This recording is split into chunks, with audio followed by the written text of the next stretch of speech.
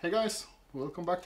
Uh, today we're gonna tie um, Chernobyl ant, uh, famous uh, pattern for the people who have been fishing in the Kola, uh, Kola island out of Russia, uh, and also probably around America and uh, other places. And it's quite popular here in Norway as well.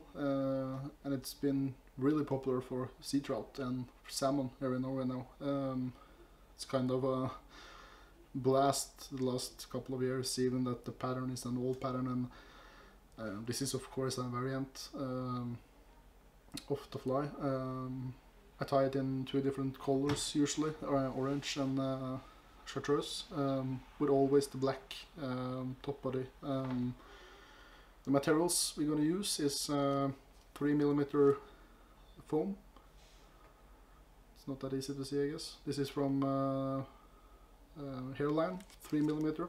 The reason I use 3 millimeter is because um, I think the 2 millimeter uh, can break pretty easy when you tie it in. It's pretty easy that it uh, uh, splits up, etc. So we're gonna tie in the 3 millimeter. Um, yeah, and uh, I'm using, as I said, chartreuse for some bodies, orange for some. I can show you a couple of bodies here. Here you have three different bodies, orange, black and chartreuse. The black is always uh, a part of the fly, um, so I, us I usually tie it like this.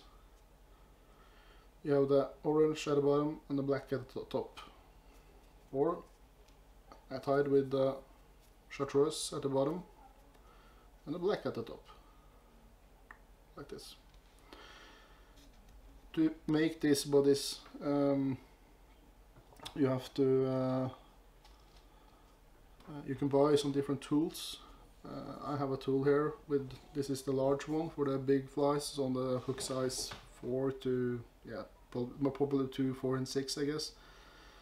And the medium one is for the eight, uh, eight flies, 10, 10 maybe. Um, but well, it looks like this it's shaped like a body and it's like a scalpel. And this is the rubber uh, path you have under. So you just uh, I can show an example. You just leave this upon and you squeeze this down. Then you will have the body. Quite easy. Um, that's how we do it. Um, the hooks I'm using for the Chernobyl ants is uh, on the small ones I'm using the Partridge Bomber hook. That's the 8 hook. Uh, the size is 8. Uh, for the bigger ones I'm using size 6 and size 4 of the Gamakatsu F314. This one. Quite a good hook for the big ones. Today I'm gonna tie a size 4 um, Chernobyl and we're gonna do a black and chartreuse one. And also I need yeah the rubber legs I'm using. I think this is from Spirit River or Hareline I'm not quite sure but you get this in all the fly shops around. Just a normal rubber leg. Um, I use an orange one for the orange fly and a chartreuse one for the or green one for the chartreuse one. Um, you can mix this up all you want. Um, I'm just gonna there is probably a bunch of videos out on YouTube on how to tie the Chernobyl fly, but uh, well, I'm uh, uh, I got some requests on it, so I'm gonna do tie it today for you guys and see uh, what you think. Um, I have some tips and tricks on how I do it, and people do it uh, differently, I guess. So uh, yeah, I hope you guys enjoy it, and let's get into it. Okay. So this is the Chernobyl ant. This is the one we're gonna tie. So we start off by fastening, fastening the hook.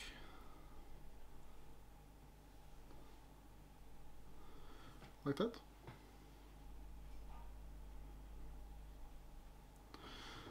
And then we are going to tie in the thread. Black tying thread all the way stop here I'm gonna have a red little trigger point at the back of the fly. So I'll be using just a red yarn here.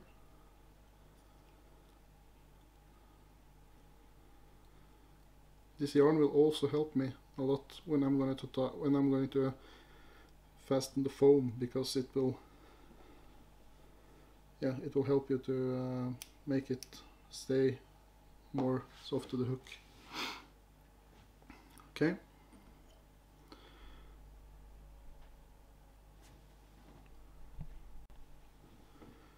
Now uh, we are going to tie in the the body. So I'm measuring up that both the, both the black and the chartreuse are the same length. And I just trim them a bit at the back so they are completely the same length. What I do now is I put on pretty much super glue at the whole hook stem like that. Now I'm leaving this on the top and I'm squeezing it around like that. Bending I'm bending it around like that. So I do a wrap here. Like that. A new one here.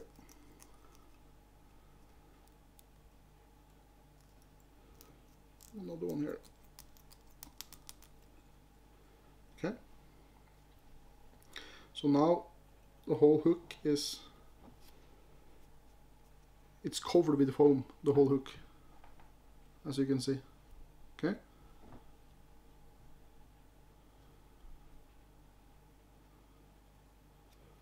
I see that some people tie it with this at the front. I'm not sure what's completely correct but I've tried both and I think that it tangles more when you have this on the in front. I don't know why but that's how I do it. I don't think the fish give a fuck to be honest but yeah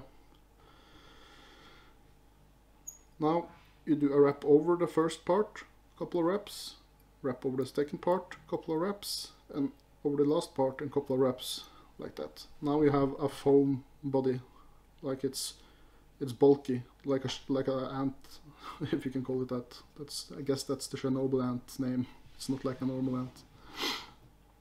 Okay, um, first thing now is the rubber leg. So what I do, as you can see in the background, I pinch it like this, like that, making a little loop like that. And I'm tying in the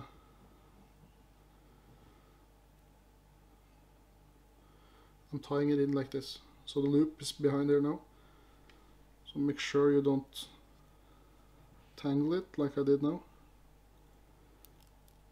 you want to have it straight like that no I think it was a bit too long so I just adjust it a bit A couple of tons like that now the black body comes into to the picture. So you just spin up this little guy here.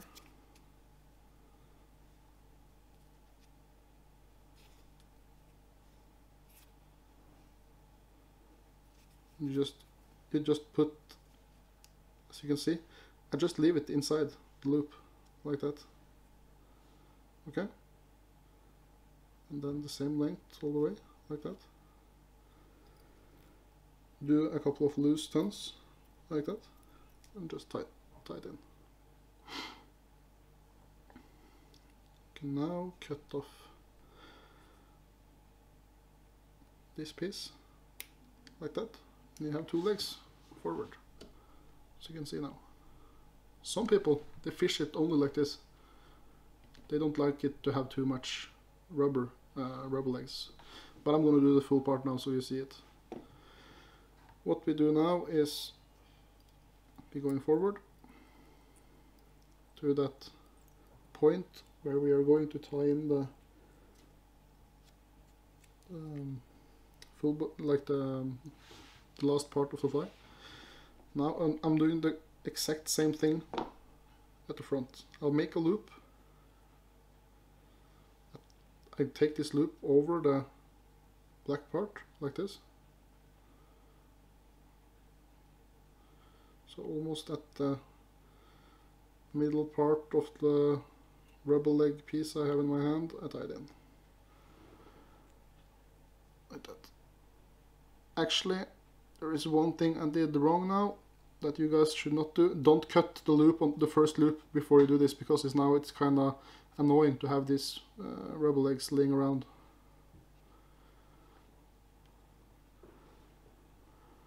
Now I have to pinch them a bit back.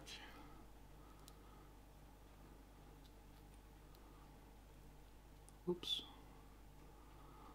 As you can see it was way more struggling now when I cut it off. Okay. We're gonna have a trigger point, at, not a trigger point, but a looking point, I can say, like a lantern. So you see the fly, uh, so you can see the fly when it's dark and bad weather condition or the light is terrible, uh, etc. So a 2 millimeter foam of yellow is tied in, like that. You can also put one at the back here if you want to. I think it's a bit overkill though, but yeah. What we do now is we go all the way forward, secure it like this. If you have a whip finish or a half hitch or whatever, just do it like this. I do it with the whip finish. I like to use whip finish on my fluke flies. Like that.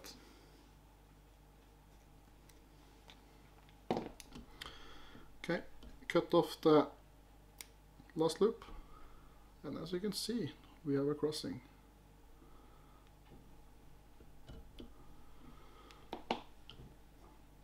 Just adjust the legs a bit if you're not happy with it because we're gonna tie in some some super glue now. Uh, what you do now is measure up the legs if you think they are too big or too small or whatever you cut them out in different lengths that you like.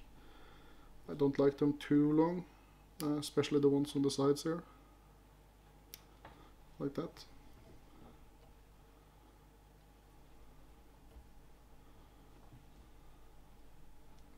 okay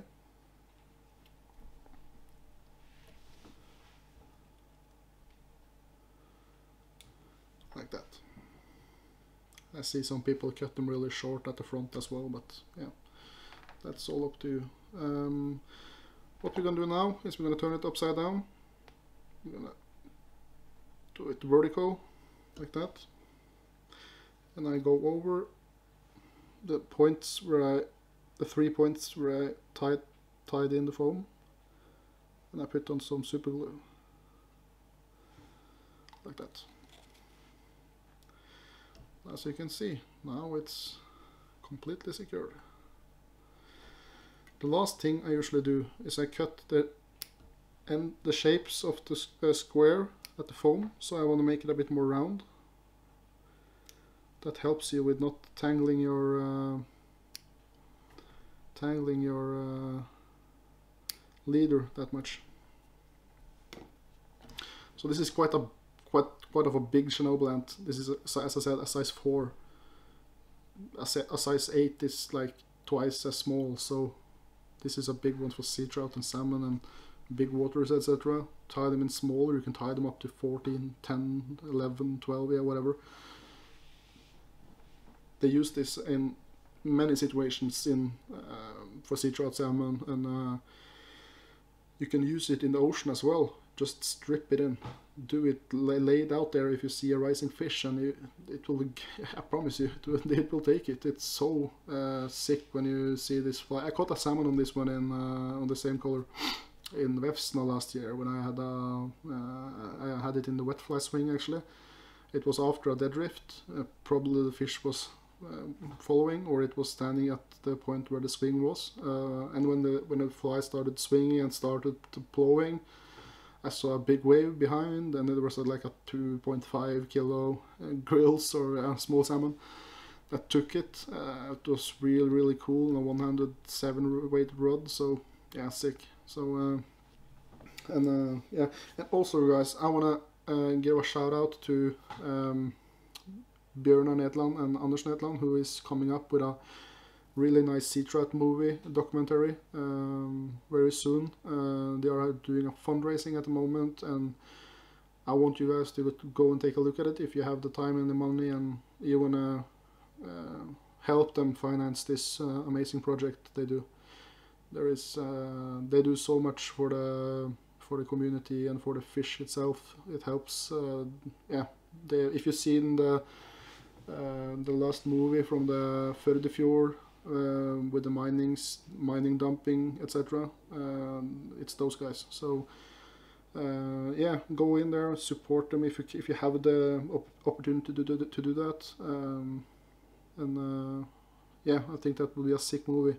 My attrib- my um, um, my attribute is uh, um, is actually these Chernobyl. Uh, I'm tying 50 flies for them, um, and they call it the the world's uh, most expensive Chernobyl ant, or they, they call it actually a foam uh, bill, or not a bill, but a foam bug, uh, skumbille in Norwegian. So the original name is Chernobyl ant, though. So yeah, we're gonna. I hope you enjoyed the movie, and um, hope you learned something.